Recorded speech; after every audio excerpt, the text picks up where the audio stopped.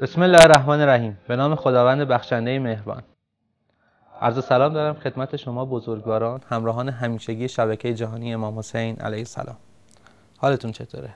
هر جا که هستید خوب و سرحال و موفق باشید. با یکی دیگه از برنامه های با هم کتاب بخوانیم در خدمت شما عزیزان هستم.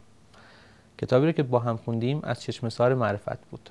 برگزیده ای از مجموعه درس های اخلاقی حضرت آیت الله العظما سید محمد حسینی شیرازی قدس رو. خب دو فصل از این کتاب با هم خوندیم و نکاتی رو از اون برداشت کردیم که امیدوارم برای راهمون برای رسیدن به اون حقیقت و رسیدن به اون اخلاق و معرفت بتونه بهمون کمک بکنه. عزیزان فصل سوم رو می‌خوایم با هم بخونیم. پس میایم با هم کتاب بخونیم.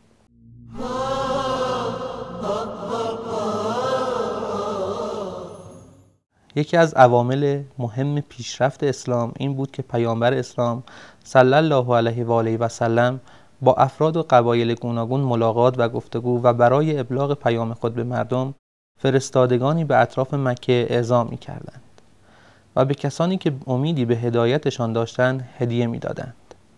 به گونه ای که وقتی در چنین روزی یعنی روز 28 سفر چشم از جهان فرو بستند بدهکار بودند قابل ذکره که بینندگان عزیز حضرت آیت الله العظما سید محمد حسینی شیرازی وقتی که این صحبت ها رو می‌کردن خب هنوز در قید حیات بودند و اون روز خاص مصادف بوده با وفات پیامبر.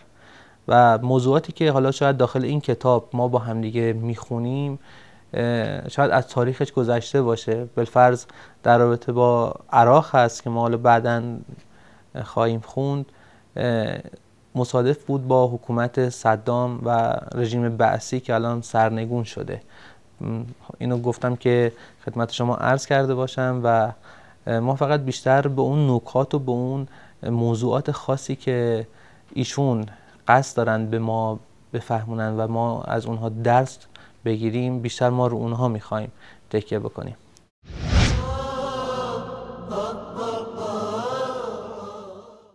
این در حالی بود که بر اساس نقشه جغرافیایی امروز جهان از نه کشور سیل پول و اموال برای حضرتش سرازیر بود. همچنین یکی از وسایای آن حضرت پیش از رحلت به اهل بیت و اصحابش این بود که فرمودند به گروه هایی که پس از مرگ من به دیدار شما می آیند هدیه بدهید. آنسان که من به ایشان هدیه می دادم بنابراین اکنون که شما حضار محترم از شهرستانهای دور و نزدیک به شهر مذهبی قم آمده اید ان الله حضرت رسول صلی الله علیه و آله و سلم به شما نیز جایزه خواهد داد.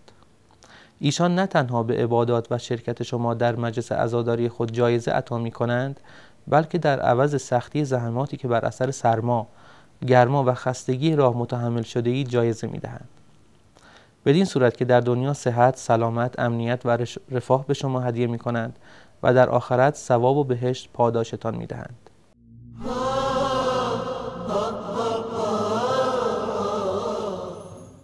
تمام هستی در اختیار معصومین علیه السلام می باشد و آنان به این دلیل که واسطه میان خدا و انسان ها هستند می توانند بیماری، فقر و گرفتاری انسان ها را برطرف کنند.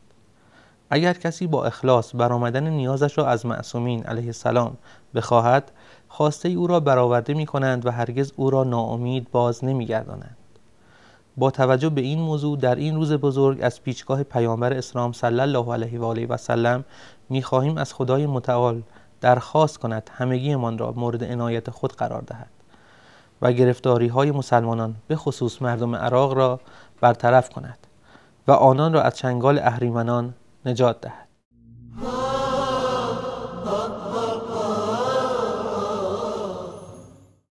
موضوعی که باید درباره عراق مورد توجه ما شیعیان قرار گیرد این است که به یاد داشته باشیم بر اساس آمارهای رسمی 85 درصد جمعیت عراق شیعه 12 درصد سنی و 3 درصد پیرو اقلیت‌های دینی هستند. کسانی که وضعیت 40 سال قبل عراق یعنی دوران پیش از حکومت عبدالکریم قاسم را به یاد دارند می‌دانند که در آن دوران نعمت و ارزاق عمومی در بازارها فراوان بود و غالبا مسلمانان کشورهای اسلامی بدون گذرنامه به زیارت کربلا می رفتند. تذکر این مطلب نیز مفید است و آن اینکه در روزگاران گذشته میان کشورهای اسلامی مرزی وجود نداشت و مردم برای سفر به این کشورها نیازی به گذرنامه نداشتند به هر حال اکنون پرسش این است که چرا عراق در چنگال اهریمنان گرفتار و برای سفر به کشورهای اسلامی داشتن گذرنامه الزامی شده است.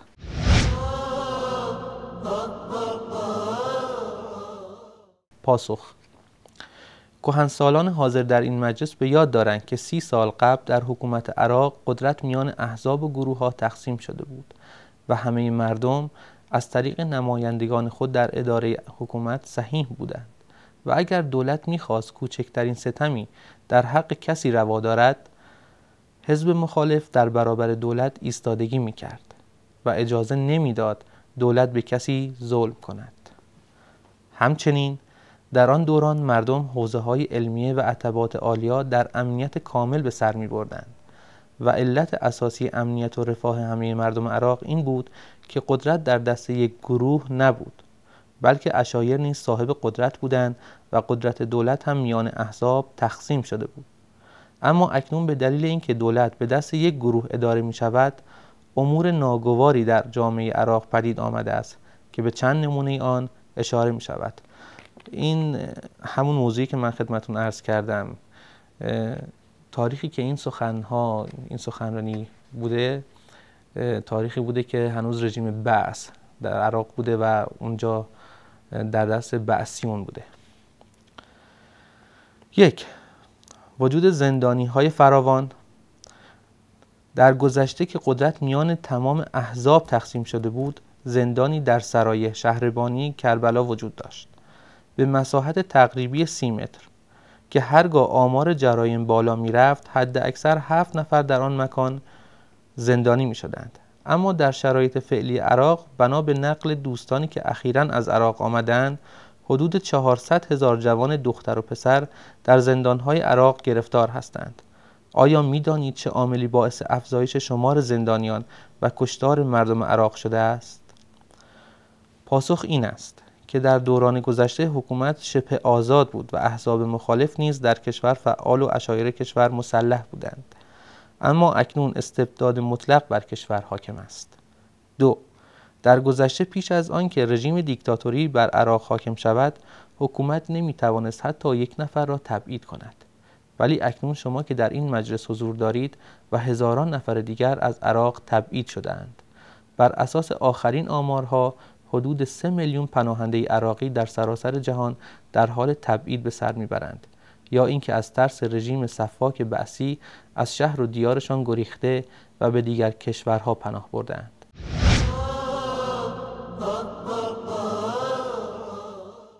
سه. شما حضار محترم غالبا قبرستان وادی السلام نجف اشرف را دیده اید. در روایتی از حضرت رسول صلی الله علیه و آله و سلم نقل شده است. یکی از اوصیای من در نجف اشرف دفن می شود که هر کس در جوار او به خاک سپرده شود خدای متعال او را در روز قیامت بدون حساب وارد بهشت می کند از این رو از زمان حیات حضرت علی علیه السلام تا به امروز از اطراف و اکناف مسلمانان کشورهای اسلامی مرده هایشان را به نجف می بردند و در قبرستان وادی السلام دفن می کردند. حضرت امیر علیه السلام در زمان حکومت خود در شهر کوفه که مساحت آن تقریبا به اندازه مساحت کنونی تهران بوده است روزی مشاهده کردند شخصی از اهالی یمن محموله ای را با شطور به مقصد نجف اشرف می‌برد. حضرت پرسیدند این محموله چیست؟ مرد یمنی عرض کرد جنازه پدرم است که بر اساس سفارش رسول خدا صلی الله علیه و آله و سلم می‌خواهم او را به نجف اشرف ببرم و در قبرستان وادی السلام دفن کنم. این داستان نشان می‌دهد که مردم از زمان امیر مؤمنین علیه السلام تا به امروز نسبت به دفن اموات خود در وادی السلام نجف احتمام میورزند. مقصود از طرح این موضوع آن است که بدانیم با توجه به احتمام مردم برای دفن امواتشان در این گورستان تا حدود 20 سال قبل طول آن حدود دو کیلومتر بود. ولی در ظرف 20 سال گذشته این گورستان تا خان مسلا سه فرسخی نجف اشرف گسترش یافته یعنی 18 کیلومتر شده است.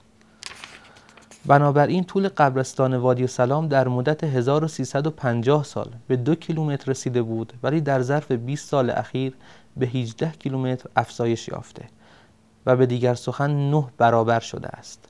شکی نیست که در گذشته تعداد جنازه هایی که با وادی سلام حمل می‌شد کم نبوده بلکه با توجه به حمل جنازه ها از دیگر کشورهای اسلامی به نجف اشرف شمار آن قابل توجه بوده است ولی با وجود آن طول قبرستان دو کیلومتر بود. اما در زمان حکومت بعثی ها انسان های بیگناه بسیاری را در زندان ها و در برابر انظار عمومی به رگبار کشته و می‌کشند. این کشتگان و نیز کشته های جنگ عراق با ایران را با آن قبرستان می‌برند. لذا طول قبرستان از دو کیلومتر به 18 کیلومتر افزایش یافته است.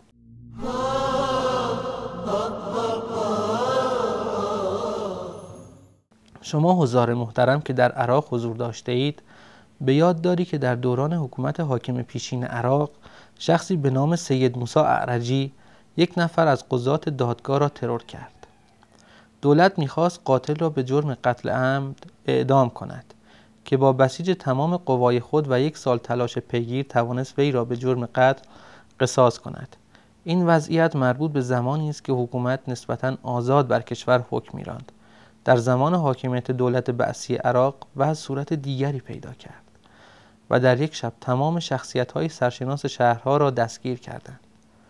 از جمله آقایان حسین دلال و عبدالحسین کمونه را در کربلا دستگیر و آنان را به بغداد منتقل نمودند. و بامداد روز بعد رادیو به نقل از مسئولان اعلام کرد تمام کسانی که شب گذشته دستگیر گردیدند در زندان اعدام شدند. ولی نام عبدالحسین کمونه در لیست اعدامی ها نبود. پس از اینکه او آزاد شد و به کربلا آمد از او خواستم ماجرا را برایم تعریف کند. گفت پس از دستگیری چشمان ما دو نفر را بستند و به بغداد بردند. و همراه دیگر دستگیر شدگان در اتاقی بزرگ زندان کردند. آنگاه دو نفر دو نفر ما را به اتاق دیگری می بردند تا اینکه نوبت من و حسین دلال رسید. هنگامی که وارد اتاق شدیم تنها یک نفر پشت میز روی صندلی نشسته است و پس از اینکه ما در برابر او قرار گرفتیم چند سال از ما کرد. سپس خطاب به حسین دلال گفت تو محکوم به اعدام هستی و او را از اتاق بیرون کرد. و به من گفت تو آزاد هستی. وی در توضیح آزادی خود گفت علت آزادی من این بود که همان شب هنگامی که پدر خانمم از ماجرا باخبر شده بود مبلغ پنجاه هزار دینار برای آزادی من به دولت پرداخت کرده بود. به هر حال در زمان حکومت دیکتاتور فعلی عراق انسانها به راحتی اعدام می شوند ملاحظه میفرمایید که حکومت نسبتا آزاد و حکومت دیکتاتوری در کشتن افراد چه تفاوتی دارد؟ در حکومت آزاد یک سال طول می کشد تا قاتل یک قاضی را محاکمه و اعدام کنند. اما در حکومت استبدادی کشتن پنجاه نفر بیگناه بیش از پنجاه دقیقه طول نمی کشد برای هر نفر یک دقیقه. البته علت آن روشن است. کسی که از خدا نمی ترسد در صورتی که مانعی بر سر راه خود نبیند هر عملی که بخواهد انجام می دهد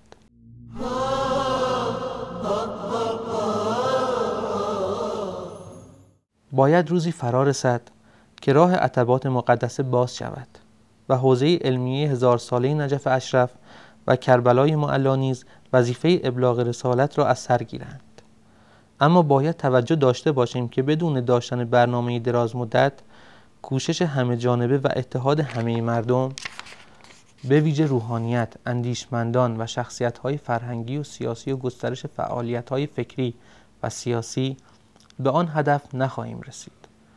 از این رو روحانیت باید با تبلیغ و انتشار هفتهنامه، ماهنامه، فصلنامه و گاهنامه مذهبی، سیاسی و خبری سطح فکر مردم را در این زمینه ها اعتلا بخشند و بدانند که این کار افزون بر منافع دنیوی پاداش اخروی نیز خواهد داشت. زیرا هر ورقی در راه آموزش مردم نوشته و منتشر شود در روز قیامت چنان سپری محافظ میان نویسندهش و شعله های پرخروش آتش جهنم حایر شده و از گزند دوزخ ایمنی بخشیده. او را به بهشت نزدیک خواهد کرد.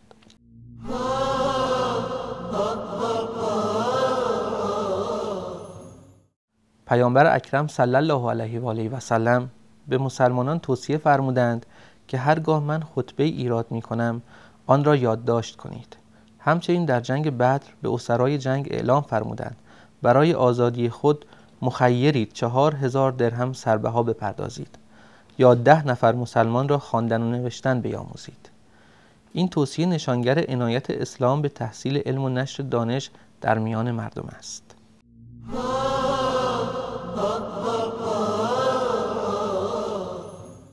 قرآن درباره هجرت بسیار تأکید فرموده.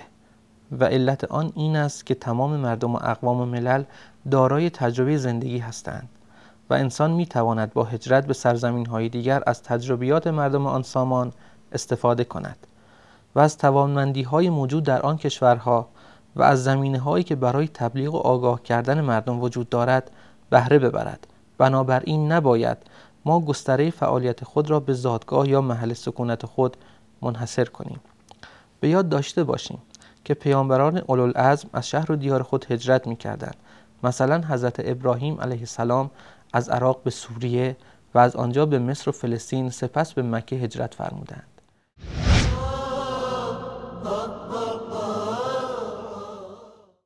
دیگر اینکه یکی از عوامل اصلی و بنیادین پیشرفت اسلام هجرت مسلمانان و پراکنده شدنشان در جهان بود وجود قبرهای پسران عباس عموی پیامبر صلی الله علیه و آله و سلم در افغانستان، طائف، یمن و عراق تأکید پیامبر اسلام صلی الله علیه و آله و سلم را مبنی بر گسترش دین از طریق هجرت به سرزمین های دوردست اثبات می کند.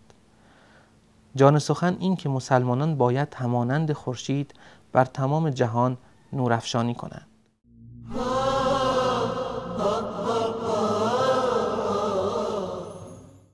پس از آنکه حضرت رسول صلی الله علیه و آله و سلم بر اثر فشار مشرکان مکه ناچار شدند شهر خود را ترک و به مدینه هجرت کنند مشرکان که در یک فراخان عمومی اعلام کردند که هر کس مرده یا زنده پیامبر صلی الله علیه و آله و سلم را تحویل دهد یکصد چطور به عنوان هدیه دریافت خواهد کرد. باید توجه داشت که ارزش صد چطور در آن زمان به اندازه یکصد دستگاه ماشین در عصر ما بوده است.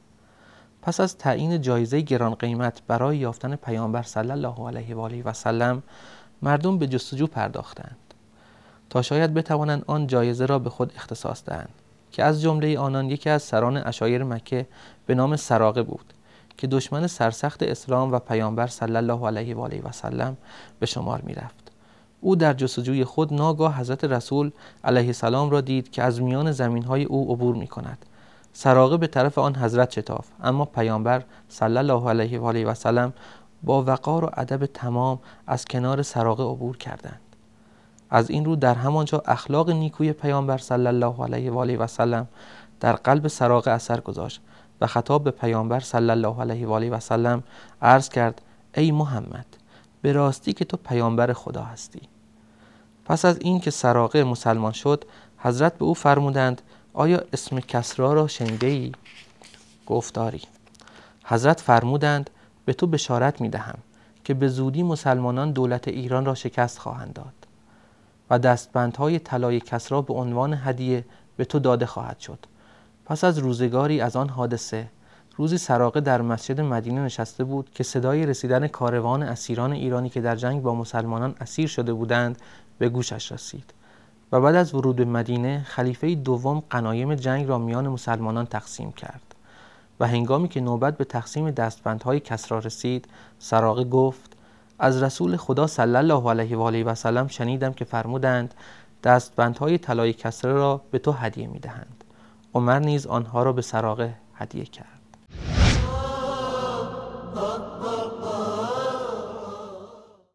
نتیجه ما باید از این حادثه تاریخی درس بگیریم و با توجه به کارایی اخلاق و تأثیر شگرف آن در هدایت مردم همواره به یاد داشته باشیم که رعایت اخلاق از اهم واجبات است و نباید تنها از دیگران بخواهیم به اخلاق پایبند باشند بلکه باید از خودمان به عنوان روحانی شروع کنیم ان الله